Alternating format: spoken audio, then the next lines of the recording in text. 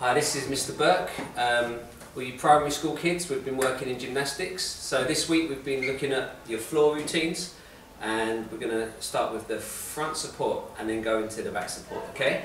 So with a straight body, all the way down to your feet, from your shoulders, everything in line. Your front support starts here, and then you twist over to your back support and start there. Okay? You can carry on doing the same thing.